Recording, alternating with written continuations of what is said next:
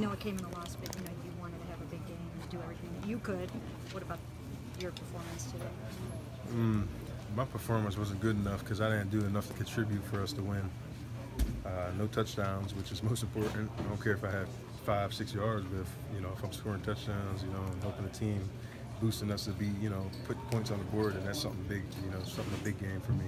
Um, I want to also say, you know, uh, last week I made a minor mistake in uh, uh, coming at a lot of guys because it's not just those guys, you know, you know, missing blocks last week. Uh, there was a couple times where I should, I need to get open, and uh, there's a couple times the quarterback held the ball trying to go to me, so I wanted to make sure I put that out there, you know, that uh, you know I got to hold myself uh, responsible as well. And, uh, but this week I also wanted to commend, you know, and give our line praise because I thought they did a great job versus Olivier Vernon and Pierre Paul and guys like that. And I thought our quarterback had time to sit in the pocket and felt comfortable to throw the ball. So uh, I gave up and gave those guys like a little love love hug and. Uh, and I thought they played awesome today, and they kind of responded. I felt uh, to the criticism, you know, not of me, but you know, just a lot of the talks and stuff like that from our quarterbacks getting hit, and I thought they did an awesome job.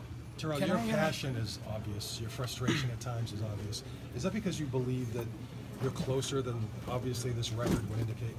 I, I believe so. I mean, uh, like I said, um, the way our defense played today, that's they, they could you could win a game like that, and we didn't take advantage. We could we could have beat that team, and uh, but it's it's it's uh it's just sad, man.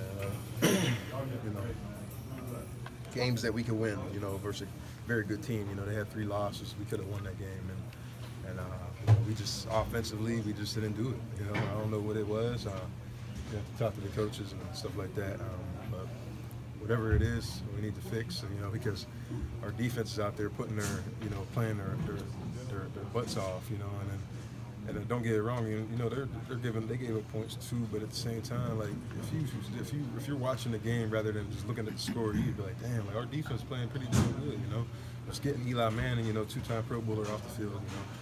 So uh, we, we, we got to score points and we got to help them. That's why it's a team game, offensively, uh, special teams, and defensively. And uh, I just think we, we didn't do well on offense. Are you just and, and inside the red zone just settling for field goals? That's a problem, right? Can't win this game with field goals. Can't win this game with field goals. But you still feel sounds like you seek progress today. Who? You sounds like as a team you saw progress today. I thought our I thought our defense did well last week as well. Who did we play last week? Yeah, Pittsburgh.